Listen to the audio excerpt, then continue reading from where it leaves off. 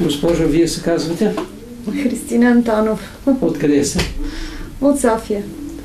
Предния път, като ви прегледах, ви казах, че имате камъни в жлъчката. Да, аз не повярвах, защото никога не ме е боляла жлъчка и изобщо не повярвах. И никой не ви е казал. Никога. Правила съм си изследвания. Всичко перфектно. Всичко перфектно, да.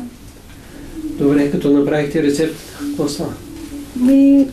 Първоначално, първи ден, още вечерта, почнах да излизат. Изброих ги бели, като бели бобчета, около 40. 40 камъка. 40 камък. Втория ден почнах да излизат зелени, като грах. Така, Жабешко зелени, те бяха около 100. около 100. Да. Даже се притеснявах, че някакви вътрешности ми излизат.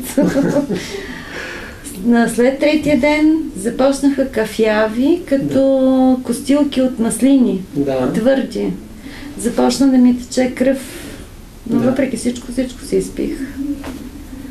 А, чувствах ги, просто ги чувствах от тук как минават вече. Третия ден През беше много, да, много беше мъчително, болеше ме. От... Е много Да, и разбрах къде ми е жлъчката. Иначе не знаех, нали. Да. Да, и след това една седмица излизаха същите черни вече. Още Изсъхнали. Да, още. Как се почувствахте след тази рецепта? Ами, направо обновена. По съвсем друг начин. Даже мозъка ми почна да действа по друг начин. Така е, не сте Да. първата, която го казвате Да. това. Добре, кожата изчисти ли се? Изчисти се кожата. Имахте пъпки, петна. Пъпки не съм имала, но петна имах много.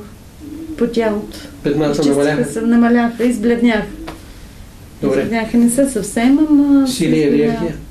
Е, По-енергична съм. Болките в ставите намаляха. Ставите... Боли, болят ме още Още горе. ставите. Добре? Болят ме.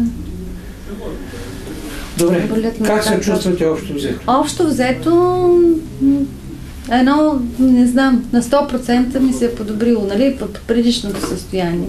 Добре, благодаря ви много. Моля.